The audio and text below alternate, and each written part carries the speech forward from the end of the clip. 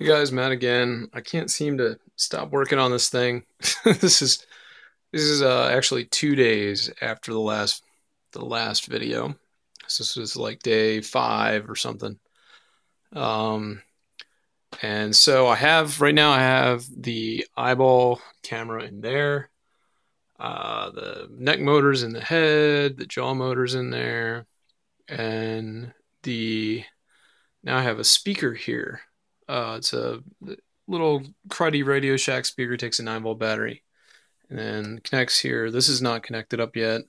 Still don't know if I'm going to use it. And all these cables come out through the back. They're all labeled, neck jaw, whatever. They go into a USB hub, which then goes into a Raspberry Pi, which then goes into this breadboard, which is powered by the power supply. And then the Raspberry Pi is controlled from this little HDMI SSH. Uh, well, I can. Uh, the point is, I can SSH into the Pi, of course, from a different machine. And here you can see the. Uh, this is the eyeball camera. It's rotated right now. I, I can flip it with software. Um, so wait. See if I can wave hi. Hello, there's my hand.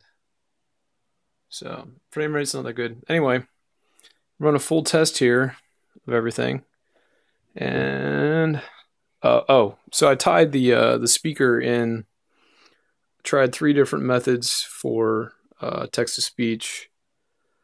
Uh, one of them is Festival, the other is eSpeak, and the third one is a script calling the Google uh, text to speech Google Translate or something going over the the network. So this the Pi does have a wireless uh, wireless USB thing in it um, to get it to the network. So let me run test, and here goes. Hello world. I am Aaron. My favorite color is green. Neck right. Neck right 45. Neck center. Neck left 45. Neck left.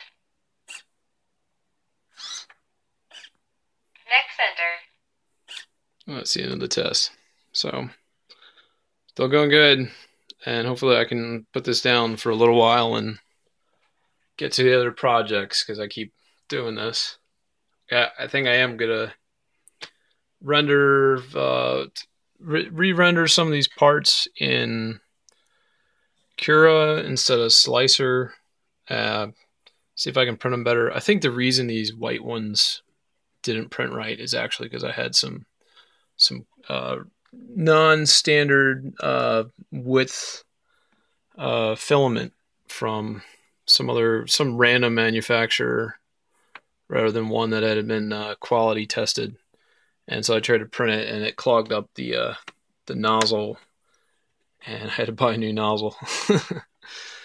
but um, so now I've got some better filament, and so I, I can reprint some of these parts. Uh, but the main thing I have to reprint is this center uh, chest motor piece again because that didn't print out right, and I just, I just shoved it in there anyway for now.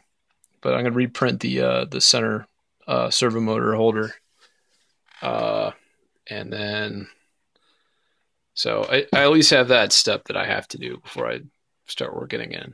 So that'll be a week or something. Uh, at some point, I, I do plan on uh, publishing these scripts that I've written, and and I I've been documenting the full uh, installation process for what packages you need, etc. Um, so I, will probably just open source up this these all these scripts at some point um, on the Isomer programming website, and there we go. All right, bye.